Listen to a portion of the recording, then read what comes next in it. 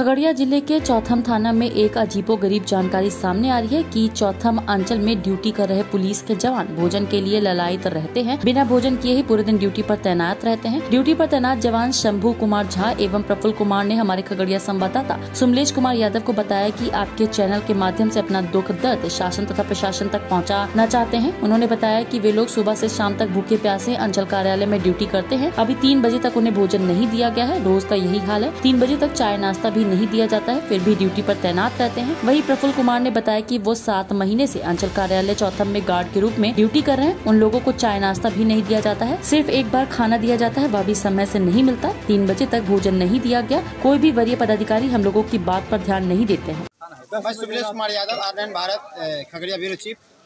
आज हम खगड़िया जिला के चौथम प्रखंड आए हैं, जहाँ की नामांकन जारी है।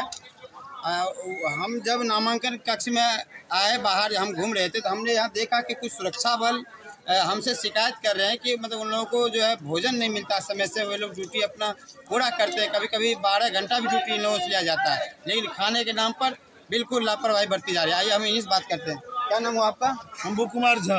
अच्छा तो आपका अभी किस थाना में है? हम यहाँ चौथम अंचल अच्छा क्या परेशानी है आपको? हम लोगों को टाइम पर खाना नहीं मिलता है क्या बज रहा है अभी- बस अब एक टाइम खाना मिलता है बस। अभी अलावा तीन बज गया है। तो कुछ इसके अलावा कुछ नहीं चाय नाश्ता कुछ नहीं। कुछ नहीं दिया जाता कुछ नहीं दिया जाता जब हम मांग करते हैं थाना अध्यक्ष से या बढ़िया पदाधिकारी से क्या बोलते हैं वो लोग? कहते हैं कि इमरजेंसी ड्यूटी में जा रहे हैं आपको खाना मिलेगा टाइम पर। अच्छा लेकिन यहाँ कुछ नहीं मिलता है। आप- तो आप क्या है गार्ड में हैं? हाँ गार्ड में। क्या नाम बोले? शंभू कुमार झा। अभी शंभू कुमार से आपने सुना कि तीन बजे तीन बज रहा समय तीन बज रहा अभी घड़ी में और इन लोगों को अभी तक भोजन नहीं दिया गया है। और आइए एक और से हम बात करते हैं। सिपाही क्या नाम हुआ आपका? प्रफुल्ल कुमार सिंह। अच्छा आप लोग अभी कहाँ ड्यूटी कर रहे हैं? यही अंचले में है। कहाँ? चौथम में? चौथम अंचल तो क्या दिक्कत है आप लोगों को? भोजन जो है न मिला अभी तीन बज गया है भोरे से जो है ऐसे बासी मुँह जो है खट रहे हैं ना भोजन न चाय कुछ नहीं मिल रहा है। अच्छा जब आप मांग करते हैं भोजन का क्या बोलते हैं? भोजन का मांग करते हैं तो हैं, आएगा आएगा आएगा। रात में भी जो है हम लोग जो है भूखे सूख गए। दस बजे रात तक हमसे ड्यूटी लिया जाता है। अभी तीन बज रहा है अभी तक खाना नहीं खाया अभी तक खाना कुछ नहीं खाए बड़े पदाधिकारी बोलते हैं कि हम लोग खाना देते हैं समय से। बड़े पदाधिकारी बोलते हैं तो कहाँ हम लोग को मिलता है? हम लोग को मिलता है तक बोलते हैं नहीं कितना दिन से ड्यूटी कर रहे हैं आप? यहाँ तो सात महीना से है क्या नाम बोले? प्रफुल्ल कुमार सिंह। देखिए प्रफुल्ल कुमार सिंह का शिकायत है ये सात महीना से चौथम थाना में है। अंचल।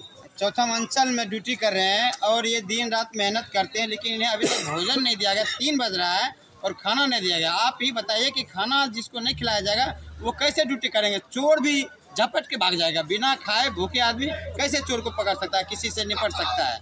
आइए, हम, आज हम अपना खबर जो है, बड़े पदाधिकारी को अवगत कराते हैं। क्या इस पर ऐसा आर नाइन भारत के लिए, सुमलेश कुमार यादव की रिपोर्ट खगड़िया। मुंगेर के तारापुर विधानसभा में election icon hero Rajan Kumar ने टेटिया बम्बर प्रखंड क्षेत्र के लोगों को मतदान के लिए प्रेरित किया। बता दें कि मुंगेर के तारापुर विधानसभा क्षेत्र में हो रहे उपचुनाव को लेकर हीरो राजन कुमार आज तारापुर विधानसभा क्षेत्र में घूम घूम कर लोगों को मतदान के लिए प्रेरित कर रहे थे। उन्होंने अपने संदेश में लोगो को कहा की पहले मतदान, फिर जलपान। उन्होंने कहा की सबसे पहले आप मतदान करें, फिर जलपान या किसी दूसरे काम की शुरुआत करें। प्रखंड के बुनियादी विद्यालय में पहुंचकर उन्होंने अपना मतदान किया और वहाँ के लोगों ऐसी मतदान करने और शांतिपूर्ण माहौल में मतदान संपन्न कराने के लिए प्रशासन के अधिकारियों से भी बातचीत।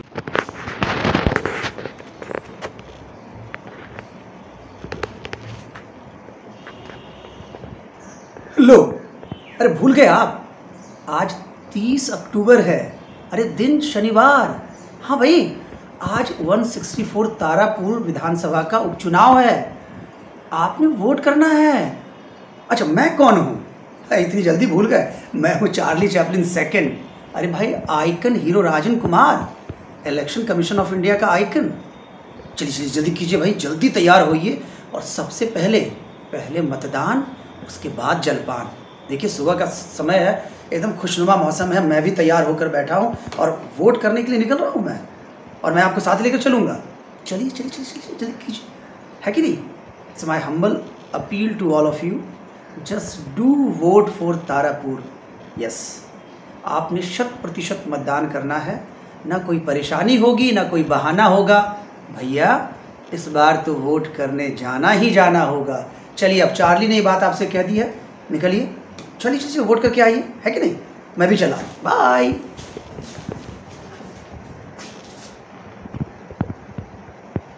आर नाइन भारत के लिए जितेंद्र पाठक की रिपोर्ट, टेटिया बम्बर मुंगेर।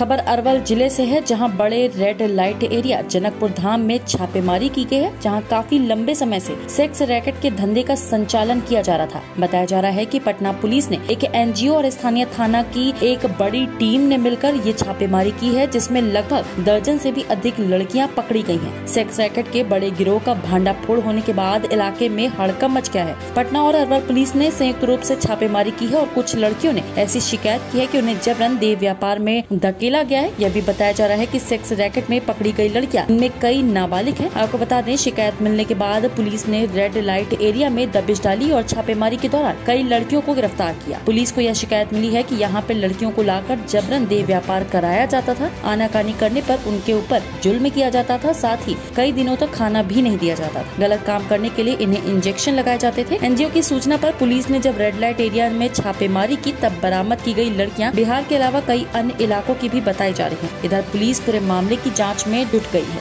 और बच्चियों को के लिए तो बहुत ही जघन्य अपराध है तो इसको हटाने की कोशिश की जा रही है। राज्य पुलिस और जिला पुलिस मिलके इसको इसका निष्पादन कर रहे हैं कि यहाँ पर जो बच्चियों को ज़बरदस्ती ला के रखा गया है छोटी बच्चियाँ हैं उनको पढ़ना लिखना चाहिए घर में रहना चाहिए अच्छी ज़िंदगी जीना चाहिए लेकिन यहाँ इनको गर्त में डाल दिया गया है। तो यहाँ से निकाल के उनकी अच्छी ज़िंदगी की प्रयास कर रहे हैं अभी तो कुछ नहीं बना सकते अब तो। देखिए एक गाड़ी की गिनती उनती कुछ नहीं सब थाना से मिलेगा आपको।